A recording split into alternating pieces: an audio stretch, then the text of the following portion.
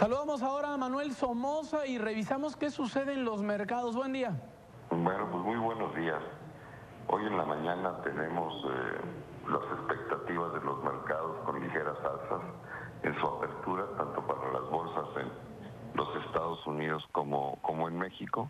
El peso mejora su cotización, está abriendo en 18.37 y esto fundamentalmente es debido a un alza del 1% en el petróleo que sube de los 29.80 que andaba el día de ayer en el cierre a niveles de 30.20 que es donde está cotizando el día el día de hoy.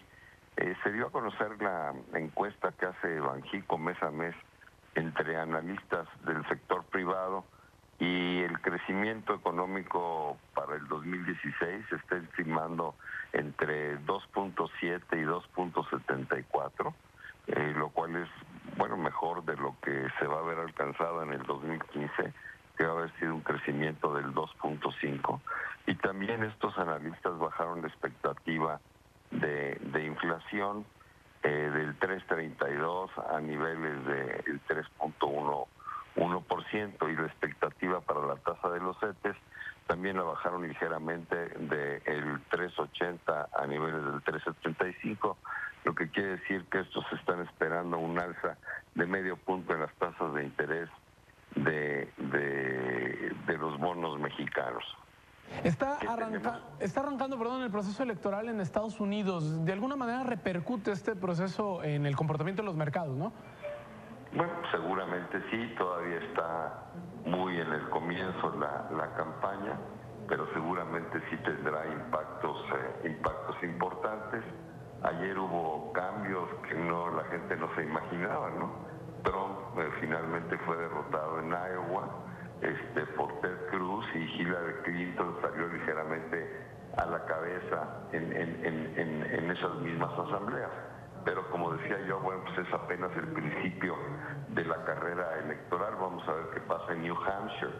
Eh, eh, en la parte económica, hoy salió también el dato del empleo del sector privado en Estados Unidos, con 205 mil empleos versus 195 mil estimados. Este es un buen dato, un dato, sin embargo, el definitivo que va a tener seguramente un impacto en la economía es el que salga el, viernes, donde se da a conocer la nómina no agrícola. Y en México lo más importante, además de que ya recibimos el, PMI, o sea, el crecimiento industrial y de servicios de enero, que fue razonablemente bueno, el jueves vamos a tener la reunión de política monetaria de Banco de México y vamos a ver qué, qué nos dice el Banco Central en relación a las tasas de interés en México. Eso es lo que tengo al día de hoy.